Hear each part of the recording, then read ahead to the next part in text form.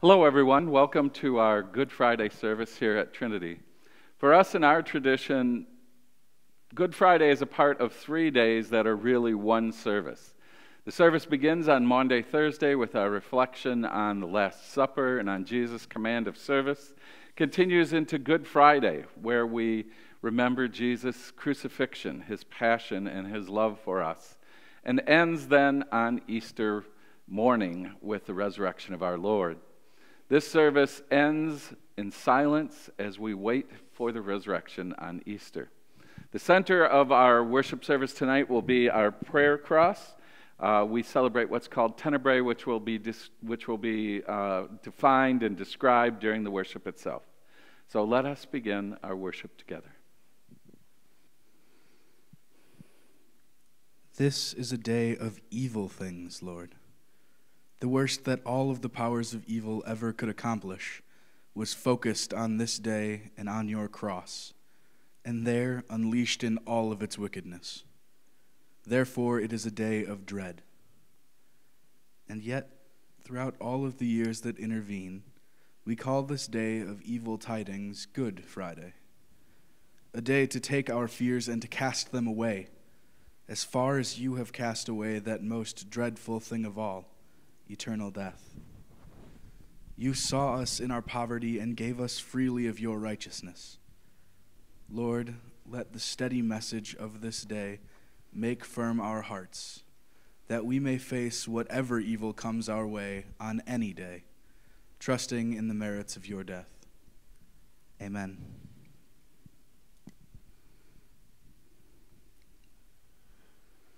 O God, is this your son Jesus hanging on the cross? The one who healed the sick, taught us how to live in your ways, proclaimed the coming of your reign? The one who was to share fully in your glory and sovereign rule? Is it through this dying one, from this cross, that you assert your reign? So this is where you reign you, giver of life, suffering, renewing, claiming dominion. Here, where the power of death would force its way. Here, at this hospital bed, where someone is dying of the COVID virus. Here, amidst the wreckage of the accident, where children, their bodies crushed, struggle to live here in the welfare office, where those who wait are measuring their hopes. Here in these tents, where refugees mourn for homes they have fled. Here in our communities, where teenagers struggle against drugs and gangs. Here in our world, where people die because of the color of their skin. Give light to our vision, O God, that we may discover you our Creator, amidst this groaning creation. Stir faith in our hearts, that our tongues may sing and knees bend before the exalted one who suffers. Give strength to our love, that where life struggles to prevail, we would bring your renewing spirit. We pray as we would live in the name of the one whose power is shaped as a cross, Jesus our Christ.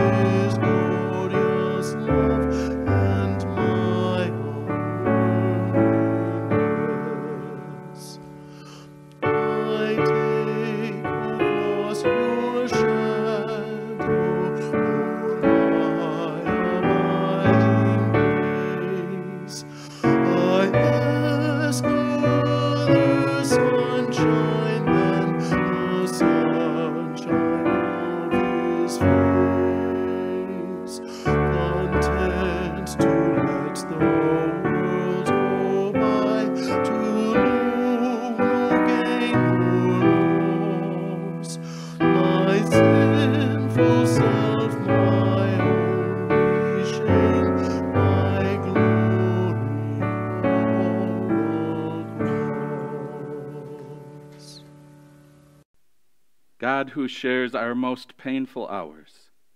At Cana, Jesus turned water into wine. At Calvary, Jesus turned blood and agony into joy. We haven't begun to understand, perhaps we never will.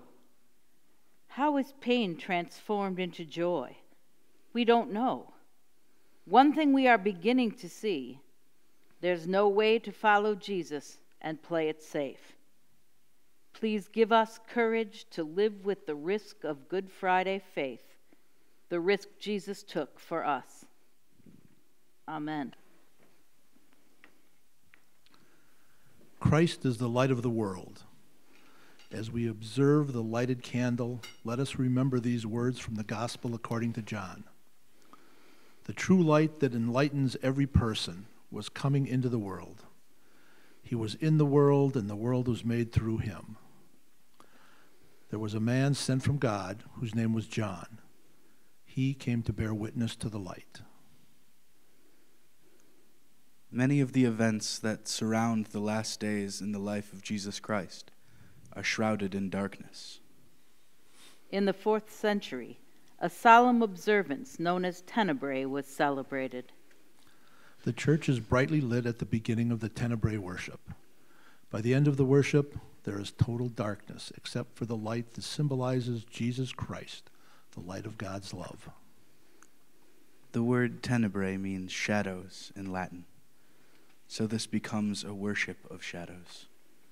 The gradual extinguishing of the lights and the candles is symbolic of the flight of the disciples and friends of Jesus and the resentment of the world leading to that final isolation of Jesus on the cross. As we see the story unfolding, we are reminded of our own falling away and the consequences of separation from God. At the conclusion of the worship, a light shines from the altar, the symbol that the meaning of the cross is fulfilled and that the light of God's love can never be extinguished. After the Lord's Prayer, the worship is over. There can be no benediction until Easter morning. The Last Supper. The Passover day finally arrived. This was a national Jewish holiday to celebrate the night so long before when the Israelites escaped from Egypt. The angel of death killed all the oldest boys in each Egyptian family that night, but he passed over the houses with lamb's blood on the door. It was because the angel passed over. In this last year of Jesus' life, Passover came, and Jesus gave instructions to his disciples about where they would hold their dinner. In the evening, Jesus arrived at the appointed place with his disciples, and they all sat down for what was to be their last supper together. And Jesus told them, I have looked forward to this hour with deep longing, anxious to eat this Passover meal with you before my suffering begins. For I tell you now that I won't eat it again until what it represents has occurred in the kingdom of God. Later, as they ate the Passover supper, Jesus said to them, One of you sitting here with me will betray me. He meant that one of his disciples would tell the Jewish leaders where he was, and this would enable them to arrest Jesus when the people weren't around to protect him. The, the disciples were very surprised and sad when they heard this. They looked at each other, wondering which one he was talking about. Peter motioned to John, who was sitting next to Jesus, to find out what Jesus meant. So John asked Jesus, Lord, who is the one who will do such a terrible thing? It is the one I will give this piece of bread to when I have dipped it in the dish. Then Jesus gave it to Judas Iscariot and said to Judas, What you are going to do, do it quickly.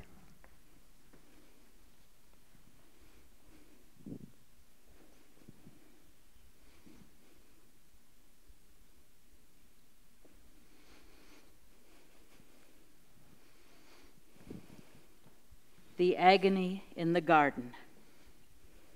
After the Passover supper, Jesus and the eleven disciples made their way toward the Mount of Olives to rest and to pray. On the way, Jesus gave them his last instructions, and they were saddened at his words. Peter was particularly sad. Filled with love for Jesus, he said, Lord, why can I not follow you even now? I would lay down my very life for your sake. I say to you, Peter, that this very night, before the cock crows twice, you shall deny me thrice. Peter protested, as did all the others. But Jesus remained silent until they reached the Garden of Gethsemane at the foot of the mountain. Peter, James, and John entered the garden with the Lord, while the others waited outside. Jesus then said to the three, My soul is filled with sorrow, a sorrow that almost kills me. Stay here and watch while I pray. He went a little further into the trees and threw himself upon the ground and cried out, O my Father, if it be possible, let this cup pass away from me.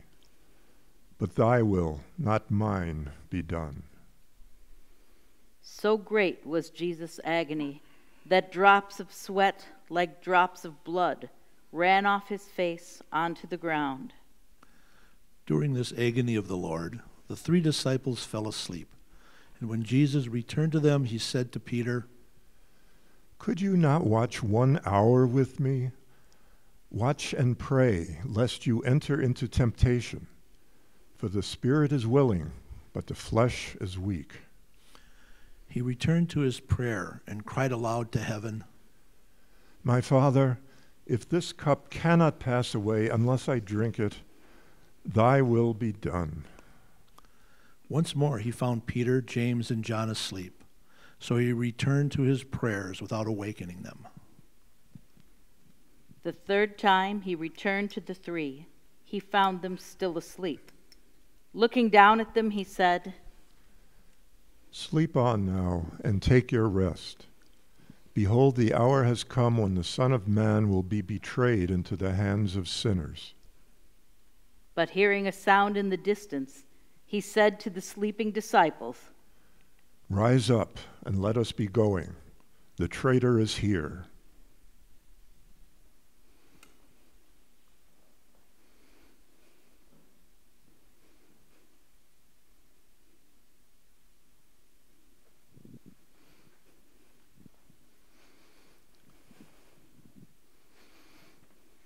The betrayal and the arrest.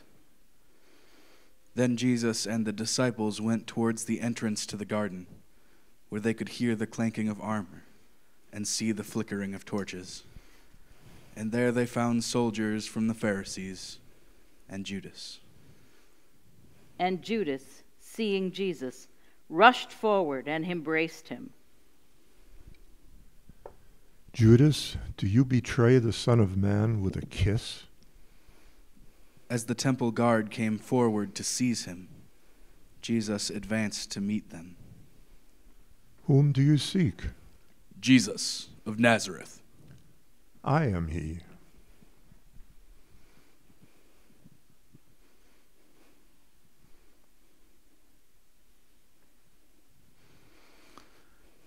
The denial. All of the disciples fled except Peter, who followed Jesus and the soldiers to the home of the high priest. And in the courtyard, one of the maids who worked for the high priest noticed Peter. She looked at him closely and announced, You were with Jesus, the Nazarene. I don't know what you're talking about. And just then a rooster crowed. Someone else saw Peter standing there and began telling the others. There he is. There's that disciple of Jesus. Peter denied it again. A little later, others standing around began saying to Peter, You are one of them, for you are from Galilee. and Peter began to curse and swear. I don't even know this fellow you're talking about. And immediately the rooster crowed the second time. And suddenly Jesus' words flashed through Peter's mind. Before the cock crows twice, you will deny me thrice.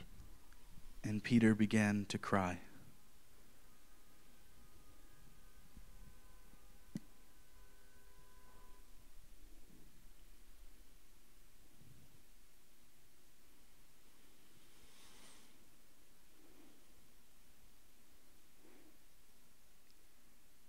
the trial. The high priest and the scribes agreed that Jesus should be put to death. But the land was ruled by the Romans, and so no man could be put to death without the consent of the Roman governor. So the enemies of the Lord took him to the governor, Pontius Pilate.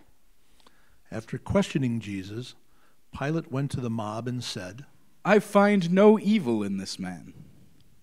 But the enemies of Jesus persisted. So Pilate was forced to decide for or against Jesus.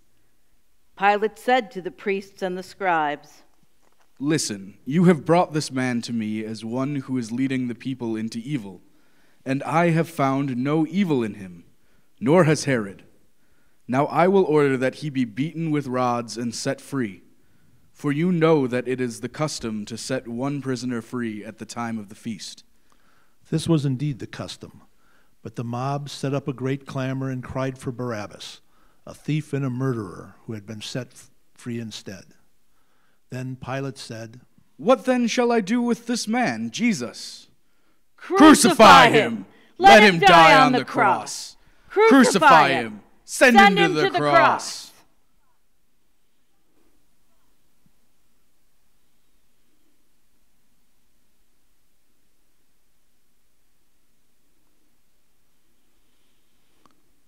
The crucifixion.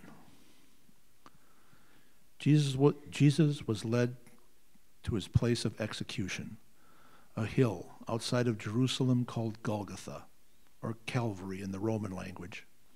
It meant the skull place. Carrying the cross on which he was to die, Jesus started toward Calvary, guarded by a detachment of Roman soldiers and followed by a multitude of people. When the procession reached the appointed place, Jesus was nailed to a cross between two criminals who were being hanged with him. And the soldiers gambled for his clothing, throwing dice for each piece. The crowd watched, and Jesus said, Father, forgive these people, for they know not what they do. The Jewish leaders laughed and scoffed. He was so good at helping others. Let's see him save himself if he really is God's chosen one, the Messiah. The soldiers mocked him too and called to him, Hey, if you're the king of the Jews, then save yourself.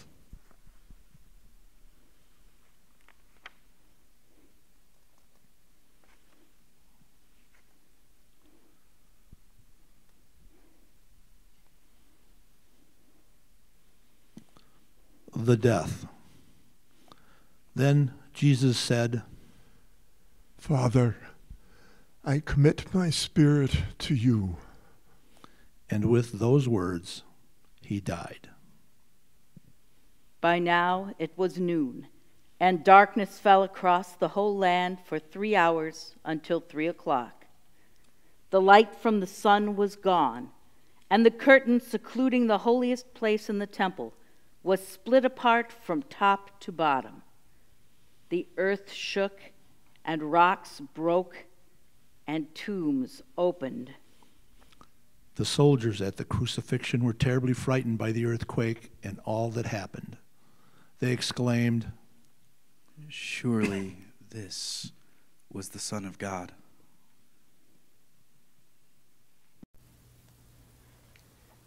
Were you there when they crucified my Lord?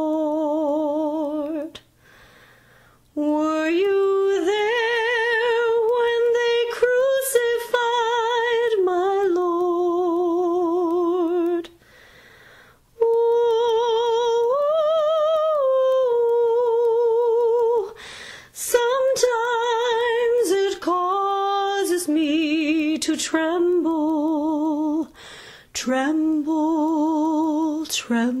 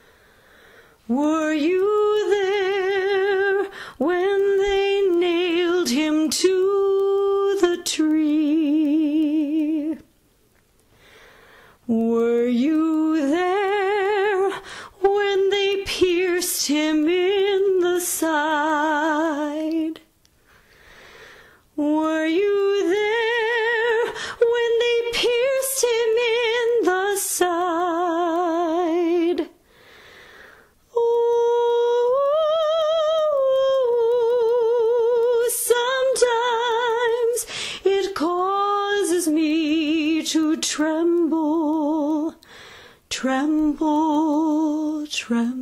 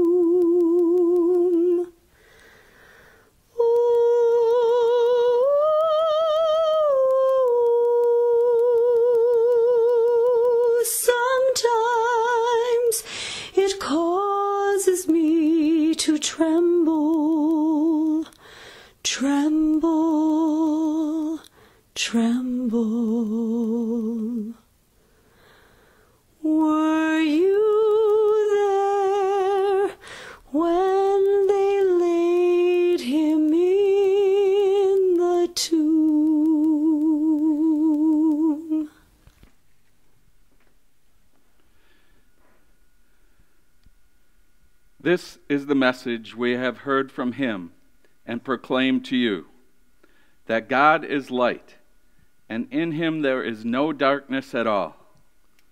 If we say that we have fellowship with him while we are walking in darkness, we lie and do not do what is true. But if we walk in the light, as God is in the light, then we have fellowship with one another, and the blood of Jesus the Son cleanses us from all sin.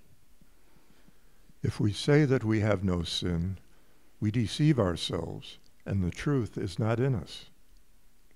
But if we confess our sins, God, who is faithful and just, will forgive us our sins and cleanse us from all unrighteousness.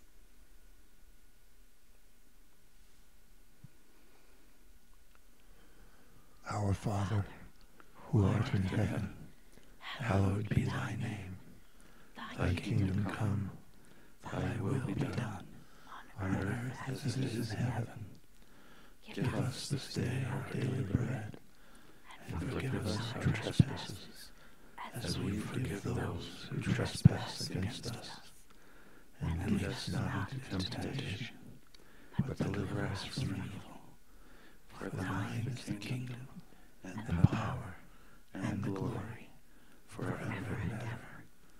Okay.